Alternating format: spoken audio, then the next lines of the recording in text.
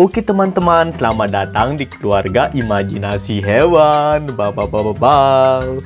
Ternyata teman-teman sekarang kita kedatangan keluarga hewan pemakan daging teman-teman atau sering disebut karnivora.